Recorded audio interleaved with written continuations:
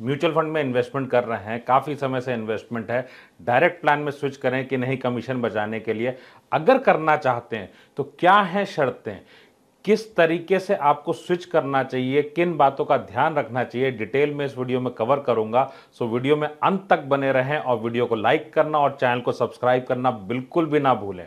Hi I am Viplav Majumdar I am founder of Plan Your World Training Academy Private Limited हम आपको बनाते हैं आपका financial advisor मेरी यूट्यूब वीडियो से आपको मिलते हैं टिप्स और अगर आपको अपना फाइनेंशियल एडवाइजर वाकई में बनना हो तो आप सीख सकते हैं मेरे साथ ट्यूसडे से लेकर थर्सडे तक मनी आई क्लास में शाम को साढ़े सात बजे. Links are in the description this is for the people who know that they will be successful financially with their savings only, with the maturity that they get at the time of retirement. या बच्चों की पढ़ाई के लिए जो पैसे चाहिए वो आपको अच्छे पैसे चाहिए जिससे अच्छा कॉलेज मिल सके ना कि हम सिर्फ़ और सिर्फ़ रिटर्न देख करके एक इन्वेस्टमेंट कर दें। सो so, इस वीडियो में आगे बढ़ते हैं। म्यूचुअल फंड में इन्वेस्टमेंट कर रहे हैं। काफ़ी समय से पैसा है। हमें लगता है कि ठीक है हमारा एडवाइजर उसको देख रहा है। पहला पॉइंट ये आता है, क्या वाकई आपके पास एडवाइजर है? अगर आपको लगता है कि आपके पास एडवाइजर है तो 90 परसेंट लोगों के लिए ये है गलती। 90 परसेंट लोगों के लिए ये सोच में एक गलती है। अगर आप मिडिल क्लास को बिलोंग करते हैं तो आपके पास एडवाइजर नहीं है, ये बात एकदम तय हो जाती है अपने आप में। बिकॉज़ अच्छे एडवाइजर को भी अच्छे कस्टमर चाहिए, जहाँ से उनको करोड़ों रुपए का इन्वेस्टमेंट मिले, जहाँ पे उनको एटलीस्ट लाखों रुपए की ब्रोकरेज मिले हर साल। किसी भी फॉर्म में। किन बातों का ध्यान रखना है? अगर आपको अपना पैसा मैनेज कराना है अगर आप अपना म्यूचुअल फंड को मैनेज करते हैं और आप डायरेक्ट प्लान में हैं सो so, अगर आपका इन्वेस्टमेंट म्यूचुअल फंड में है और आप डायरेक्ट प्लान में जाना चाहते हैं तो क्या हैं शर्तें अल्टीमेटली डायरेक्ट प्लान में जाने के लिए? सो so, मेरा सवाल आपसे यह है कि आपका ऑब्जेक्टिव क्या है? क्यों आपने म्यूचुअल फंड में इन्वेस्ट किया है? क्या आपने एक रिटर्न बनाने के लिए इन्वेस्ट कर दिया है? कि थोड़ा सा रिटर्न मिल जाए, या फिर उस मेच्योरिटी से जो भी रिडिम्शन पे आप पैसा लेंगे, आज से पाँच साल बाद, दस साल बाद, बीस साल बाद, जो भी पैसा आएगा, उससे आपके घर की कुछ जिम्मेदारियाँ पूरी होने वाली है। जैसे जैसे आपका रिटायरमेंट या घर का लोन आप चुकाना चाहते हैं, कोई मकसद है आपका? अगर आपका मकसद है इसके पीछे देन इस वीडियो को बहुत ध्यान से देखिएगा। तो अगर आप अपनी लाइफ में इंटरेस्टेड हैं, आप अपनी बेहतरी में फाइनेंशियल सक्सेस में इंटरेस्टेड हैं तो डायरेक्ट म्यूचुअल फंड में जाए या नहीं, ये पहला एक डिसीज़न है। अभी क्या हो रहा है? आपके पास में एक एजेंट है, जिसने आपको तमाम म्यूचुअल फंड्स बताए हुए हैं। आपको नाम बताया है म्यूचुअल फंड का, आपको 20 साल के लिए एक एसआईपी बता दी है, ताकि उसको कभी सर्विस देने की ज़रूरत ना पड़े। बार बार कौन बैंक की चीज़ें करवाएँ? लेकिन क्या उसको वाकई पता है कि 20 साल के लिए एसआईपी क्यों? क्योंकि फंड मैनेजर क्या 20 साल तक रुकेगा इसके अंदर में? फंड मैनेजर की परफॉर्मेंस बिल्कुल सही रहेगी 20 सालों तक, क्योंकि उस कंपनी के साथ आपके एजेंट ने तय कर लिया कि उसको ब्रोकरेज इतनी लंबी चाहिए। आपका पैसे का क्या होगा पता नहीं है। अब सवाल क्या है? आपका मकसद क्या था? आपका मकसद था अपने पैसे पे ज़्यादा रिटर्न मिले, अपने पैसे पे आपको पैसा बढ़ के मिले। जब आपको ज़रूरत हो तो उस वक्त वाकई बच्चे के स्कूल, कॉलेज के लिए ज़्यादा पैसा मिले रिटायरमेंट के लिए ज़्यादा पैसा हो। अब यहाँ पे हो गया भेद दो ऑब्जेक्टिव्स का।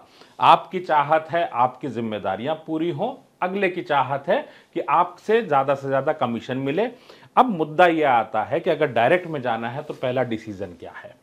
फ़र्स्ट डिसीज़न इज़ कि यस मैं अपना पैसा अपने आप मैनेज करूँगा। आपके मन में आएगा, विप्लव, तुम तो कहते हो अपना पैसा मैनेज करो। नहीं, मुद्दा ये नहीं है। मुद्दा ये है कि अगर आपका पैसा है, आपने दस हज़ार रुपए की एस की, अब दस हज़ार की S I P twenty five lakhs की हो गई। इस ट्वेंटी फाइव लैक्स का क्या करना है? अगर एक फंड से दूसरे फंड में जाते हैं टैक्स क्या लगेगा? एक फंड से दूसरे फंड में जाते हैं, क्या तरीका होगा इसका? तो क्या ये इतना सीधा है कि मैंने सीधा उठाया और स्विच कर दिया, सीधा उठाया, बैंक में ले लिया? नहीं। आज आपको एक सर्विस मिल रही है। कल को अगर ये पैसा एक करोड़ हो जाता है तो वाकई एक बड़ा पैसा और आपको मैनेज करना है। दो बातें बहुत सिंपल है। क्या आपके एजेंट को मैनेज करना आता है? नहीं आता। अब दूसरी लड़ाई। जब नहीं आता उसको तो कौन मैनेज करे? You need the best advisor अब बेस्ट एडवाइजर को पैसा देना है तो तीन लाख रुपए देना पड़ेगा। वो नहीं है। Then what is the decision? Decision is कि yes, i will manage my money on my own because no one else is interested in your betterment. आपकी चीज़ें तभी अच्छी होंगी जब आप ये डिसीज़न लेंगे। तो ये डिसीज़न पैसा क्या स्विच करने का है? नहीं। ये डिसीज़न है कि आप अपना पैसा खुद मैनेज करेंगे। क्योंकि अगर आपको ट्रांजैक्शन चाहिए था, आपको चाहिए था कि मैं ट्रांजैक्ट कर लूँ, सिर्फ़ खरीदना है ट्रांजैक्शन कर दिया, मैंने रुपए दिए यूनिट्स मिल गए तो फिर आप जो कर रहे हो वही करते रहो। लेकिन अगर आपका मकसद है कि मैं वाकई अच्छी स्कीम में जाऊँ, मैं वाकई हर साल वो स्कीम देखूँ जिससे कि मुझे अच्छा रिटर्न मिले, मैं फंड की परफॉर्मेंस चेक कर पाऊँ, मैं हर साल टैक्स बचा पाऊँ, क्योंकि आपके एजेंट ने आपको कभी एडवाइस नहीं किया कि एक लाख रुपए का टैक्स फ्री गेन मिलता है, आप बुक कर लो, दस हज़ार का हर साल नुकसान कराया। अब मुद्दा यह आता है कि अगर ये सब चीज़ें करनी है तो फिर आपका डिसीज़न इंपॉर्टेंट है तो पहला पार्ट तो हो गया डिसीज़न क्योंकि अगर आप ये नहीं लेते डिसीज़न तो फिर उसके साथ बने रहिए, उसके बहुत सारे कारण हैं. कौन कौन से कारण हैं? अगर आप ट्रांजैक्शन करना चाहते हो तो फिर आपको एक इंसान सर्विस दे रहा है. एक ट्रांजैक्शन का मॉडल आपके पास में है. आप चाहे ऑफलाइन खरीदे, चाहे ऑनलाइन खरीदे. लेकिन अगर आप पैसा मैनेज करते हो तो वाकई आप उसकी मेच्योरिटी भी बढ़ाएँगे। सो डायरेक्ट में और क्या शर्तें मेन मुद्दा आपका अगर है कि डायरेक्ट में आपको इसलिए जाना है कि कमीशन बचाना है।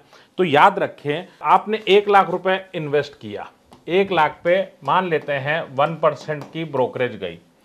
तो आपका निन्यानवे हज़ार इंपॉर्टेंट है या वन परसेंट अब मैं आपसे बोलूँगा, अगर आप खुद इसको करते हैं, इस वन परसेंट की वैल्यू हो जाती है, लगभग तीस से चालीस लाख रुपए पूरे जीवन काल में, अगले बीस तीस साल में ये वैल्यू है। अगर पूरे जीवन काल की बात करूँ तो ये और बड़ी रकम हो जाती है। मुद्दा ये है, अगर ये आपकी फैमिली के लिए इंपॉर्टेंट है तो फिर आपको खुद सीखना है।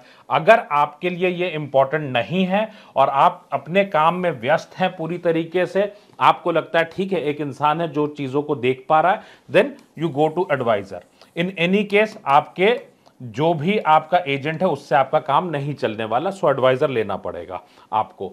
नाउ सेकंड पॉइंट इस पैसे को अगर आप अपने पोर्टफोलियो में ऐड करना चाहें तो फिर डायरेक्ट में जाना है तो डायरेक्ट के नियमों को जानना पड़ेगा। क्या है और नियम? कुछ सवालों के जवाब कुछ सवालों के जवाब आपको देने पड़ेंगे। पहला पॉइंट टैक्स आप जब इमीडिएटली इसको स्विच करेंगे तो एक आएगा आपके सामने टैक्स का मुद्दा। सो so, मान लेता हूँ कि ये पैसा आपका इक्विटी फंड्स का है तो 12 महीने से प्लस की यूनिट्स हैं उसी को स्विच कर सकते हैं जिनमें आपके पास में एग्जिट लोड ना हो। एग्जिट लोड अगर नहीं है तो ही इसको आप स्विच कर सकते हैं। दूसरी बात एक लाख रुपए तक का अगर गेन है तो वही आपका टैक्स फ्री होगा।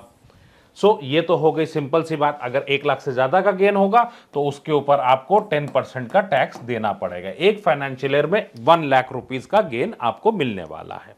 नाउ जो दूसरे सवाल आपके सामने आते हैं, वो कौन कौन से आते हैं? फिर मैं आता हूँ कि इसको कैसे स्विच करेंगे, किस तरीके से, कहाँ पे अकाउंट ओपन करेंगे सो इसके ऊपर भी आऊँगा। पॉइंट इज़ वेरी सिंपल कि जब आप इसको स्विच कर रहे हैं तो आप फंड कौन सा ले रहे हैं? क्या मैं सेम फंड में जाऊँ? या मैं दूसरा फंड ले लूँ? सो आपके पास में मल्टीपल क्वेश्चंस आ जाते हैं। सो फंड कौन सा होगा मेरा? दूसरा क्वेश्चन है। कितने अमाउंट की आप इसके अंदर इन्वेस्टमेंट करेंगे? क्या सेम अमाउंट का इन्वेस्टमेंट होगा? क्योंकि जिस एडवाइजर ने भी आपके ये पैसे लगवाए, क्या उसने आपकी प्रोफाइलिंग की? क्या उसने चेक किया? क्या आपने चेक किया कि आपके बच्चे के एजुकेशन के लिए कितना पैसा लगेगा? बच्चे के एजुकेशन के लिए मुझे आज अगर 10 लाख चाहिए तो डेफिनेटली अगले 10 साल में this is going to be 26 lakh college की फ़ीस बढ़ रही है। तो मेरी एसआईपी उल्टे क्रम में मुझे कैलकुलेट करना पड़ेगा। सो जो टारगेट है, उसके अकॉर्डिंग एसआईपी होगी ना। तो आज एक कितना पैसा मेरे पास में है और भविष्य में कितना चाहिए, मैं अपनी सेविंग से कितना दे पाऊँगा, ये आपको कैलकुलेट करना ही पड़ेगा। आपके एजेंट ने नहीं किया है तो ये बहुत गलत बात है। अगर आपको अमाउंट नहीं पता तो you need to know this ठीक? गोल बेस्ड होगा. थर्ड पॉइंट आपके पास आ जाता है कि आपको कितना रिस्क आपकी सिचुएशन में लेना चाहिए।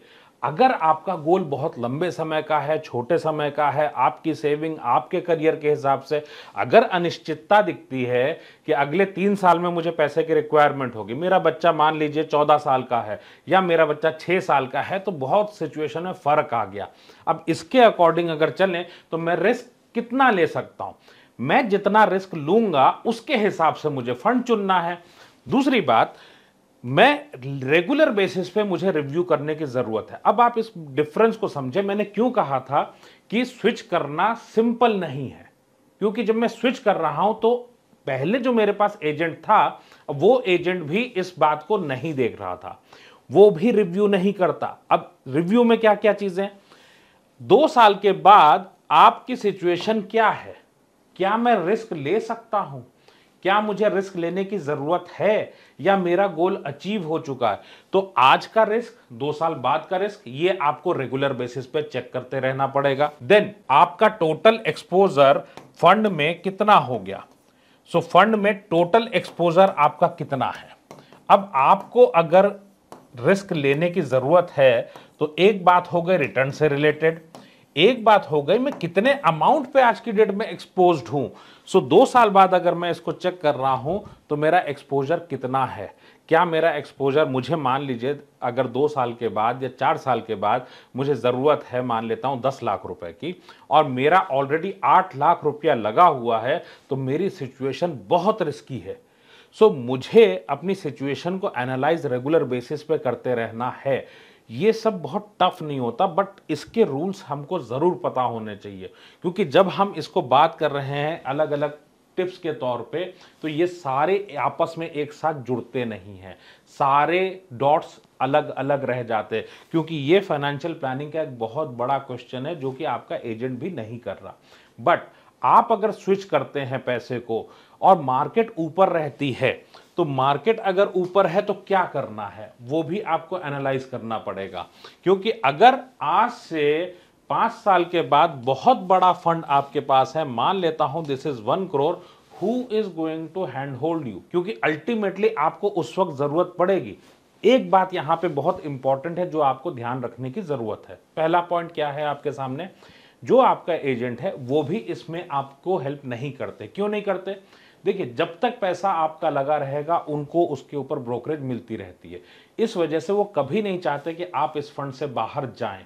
सो so, बट आपका कोई टारगेट थोड़ी है तो आपको तो अपने गोल्स पूरे करने सो so, बट आपको हमेशा मार्केट के हिसाब से चीज़ों को देखना पड़ेगा। ये आपकी एक मजबूरी है और इसके फ़ायदे बहुत सारे हैं।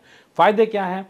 फ़ायदा यह है कि भाई मान लीजिए कोई व्यक्ति सौ रुपए इन्वेस्ट कर रहा है और कोई व्यक्ति एक लाख रुपए इन्वेस्ट कर रहा है। दोनों का रिटर्न क्या सेम है? यस रिटर्न सेम है। लेकिन क्या दोनों को जो पैसे रिटर्न में मिले बाद में, क्या सेम है? सौ वाले को मान लेते हैं एक हज़ार रुपए मिले, दस गुना होकर के एक लाख वाले को दस लाख मिला। ये बहुत बड़ा डिफरेंस है। सो so, आपका जो अमाउंट है वो आपको हेविली इन्वेस्ट करने की ज़रूरत होती है अगर वाकई आपको अपनी चीज़ें पूरी करनी है। सो so, आपका जो रिस्क है वो काफ़ी बढ़ चुका होता है इन्वेस्टमेंट के अंदर। सो so, इसलिए म्यूचुअल फंड को काफ़ी डिटेल में आपको पढ़ने की ज़रूरत पड़ती है। देन आपके लिए इंपॉर्टेंट पार्ट क्या आता है? क्या इन्वेस्टमेंट स्टाइल सेम है फंड मैनेजर की? इन्वेस्टमेंट स्टाइल भी तो अलग अलग है। सो so, अगर उसमें कोई चेंज हो गया तो क्या मुझे वो जानना है? यस yes, जानना है। क्या ये डेटा ऑनलाइन अवेलेबल है? Everything is not available online ये बात एकदम क्लियर रखिएगा। इस इंडस्ट्री में आज भी बहुत सारी चीज़ें ऑफलाइन अवेलेबल है। सो so, ये इसके बहुत सारी लिमिटेशंस है। अब इतनी सारी चीज़ें अगर आपके सामने लिमिटेशंस के तौर पर हैं सिर्फ़ खरीदना बेचना स्विच करना तो बहुत आसान काम है। ये वैसा ही है कि एक जर्नी शुरू आपने कर दी बट उसके बाद क्या? सो so, इसके लिए प्रॉपर एजुकेशन बहुत इंपॉर्टेंट है एंड फाइनेंशियल एजुकेशन के बिना ये चीज़ नहीं हो सकती। ये बात एकदम ध्यान में रखें। मैं एक छोटा सा एग्जांपल आपको देता हूँ कि अगर आपके 15 साल हो गए हैं इन्वेस्टमेंट करते हुए एंड इफ़ यू फील कि आपके पास वेल्थ कम है तो ये 15 सालों का नुकसान आप ले चुके हो। आप आने वाले समय में म्यूचुअल फंड से कितना पैसा बनाओगे? सो so, ये पॉइंट उठता है कि आप टोटल में कितना अमाउंट आप लगाओगे अपनी प्रोफाइलिंग करने के बाद। आपसे मेरी अपील है कि अपनी प्रोफाइलिंग ज़रूर करें क्योंकि आपके पैसे अलग अलग काफ़ी जगहों पे इन्वेस्टेड हैं। सो so, मान लेता हूँ ये पीएफ में है ये एफडी में है ये आपका इंश्योरेंस में पैसा लगा हुआ है और ये आपका म्यूचुअल फंड में है। अगर ये सिचुएशन आपकी है तो इन टोटल आप नेगेटिव रिटर्न बना रहे हैं। मतलब क्या है? सात परसेंट से नीचे। और आपकी, अगर बच्चे की एजुकेशन की बात करूँ तो महँगाई 10 परसेंट लग रही है। आपकी बात करूँ तो 7 परसेंट। और ये मिक्सचर अगर आपका है तो डेफिनेटली आप 7 परसेंट से नीचे ही रिटर्न बना रहे हैं, ऊपर तो नहीं बना रहे हैं। तो वेल्थ आपकी तब बन पाएगी जब आप हेविली इन्वेस्ट करेंगे। डायरेक्ट में स्विच करना खाली ऑप्शन नहीं है हेविली इन्वेस्ट भी करना पड़ेगा। अब बात आती है कि इन्वेस्ट करने के लिए आप या स्विच करने के लिए डायरेक्ट में क्या क्या करोगे आप? सो so, पहला पॉइंट आपके सामने आ जाता है कि आप एग्रीगेटर जो हैं उनके यहाँ पे अकाउंट ओपन करते हैं। क्या मुझे फ्री ऐप लेने की ज़रूरत है? बिल्कुल नहीं। फ्री ऐप से आप जाते हैं, कहीं ना कहीं से ये वसूल लेंगे पैसा, ये बात बिल्कुल तय है। क्यों? कैसे? सैकड़ों करोड़ टीवी एड पे जलते हैं कि आप फ्री में आप डायरेक्ट म्यूचुअल फंड खरीद लीजिए। जब आप फ्री में खरीदते हैं तो उसके बाद उनको कोई इनकम तो होती नहीं। फिर आपको वो चौदह परसेंट की एफडी बेचेंगे, या फिर आपको ये बोलने वाले हैं कि आप आकर के ट्रेडिंग करो, ट्रेडिंग से भी इनकम आती है, आप कुछ भी करो, लेकिन आप यूज़ करो। फ्रेंड्स, आपका पैसा है। आपको बहुत समझदारी से इसको करना चाहिए। आपके सामने क्या क्या ऑप्शन है? एम एफ़ सेंट्रल मुझे कोई एफिलिएट मार्केटिंग मैं नहीं करता सो मैं सिंपल सा आपको, मुझे इनसे कोई लेना देना नहीं है। मेरा अपना अकाउंट एम एफ़ यूटिलिटी पे है सो आप चाहें तो इनसे ले सकते हैं। ये आपको सर्विस दे देते हैं और एक तरह से आप कह सकते हैं, लगभग लगभग सरकारी हो जाता है सिस्टम ये अपने आप में बिकॉज़ के फिनटेक और कैम्स आपका म्यूचुअल फंड का बैक ऑफ़िस संभालता है। एमएफ यूटिलिटी को स्टार्ट म्यूचुअल फंड कंपनीज़ ने ही किया हुआ है। या फिर आप यहाँ पे ले सकते हैं कंपनी की वेबसाइट से। क्या फ़र्क आता है जब आप फ्री ऐप से किसी से लेते हैं या इनसे लेते हैं? तो मान लीजिए आपने एक्स ऐप से इसको खरीदा और वाई ऐप दूसरा है सो आपने कुछ पाँच फंड्स यहाँ खरीदे, चार फंड्स यहाँ पे खरीदे। क्या फ़र्क पड़ेगा जब आपने इनमें अकाउंट खोला तो ये नौ के नौ फंड्स यहाँ पे आपको इन टोटल दिखाई देते हैं एक ही जगह पे। सो so, यहाँ पे आपका पैसा मैनेज करना आपके लिए आसान हो जाता है। करना क्या पड़ेगा आपको? आपको इनके अंदर पहले अकाउंट ओपन करना है। ऑनलाइन अकाउंट ओपन कर सकते हैं या फिर आप इसको ओपन कर सकते हैं जाके ऑफलाइन इनके ऑफ़िस में। कैंप्स के ऑफ़िस में भी जाकर के आप इसको ओपन कर सकते हैं। थोड़ी सी सर्विस मिलने में असुविधा हो सकती है आपको।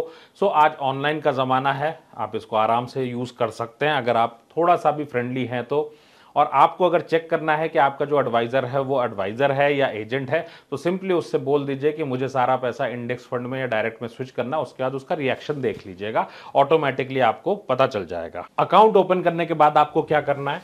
अकाउंट ओपन करने के बाद आपने करना है, अगर आपके पास एसआईपी है तो सबसे पहले इस एसआईपी को आप कर दें स्टॉप सिंपल आपने एसआईपी का कंट्रीब्यूशन रोक दिया, उसके बाद आपने 12 महीने वाला कैलकुलेशन किया, एक लाख वाला कैलकुलेशन किया कि गेन कितना है, पता चला एक परसेंट बचाने गए, डेढ़ परसेंट बचाने गए और वहाँ पे आपको टैक्स देना पड़ गया ज़्यादा।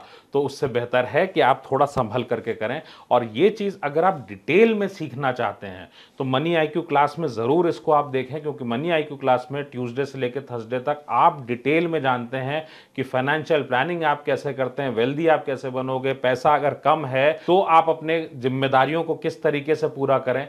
एक हज़ार यूट्यूब वीडियो से अलग अलग मेंटर्स से देखने के बजाय आप कॉन्क्रीट अपनी फाइनेंशियल एजुकेशन को पूरा कर सकते हैं और इसकी शुरुआत आप कर सकते हैं मनी आईक्यू क्लास के साथ में।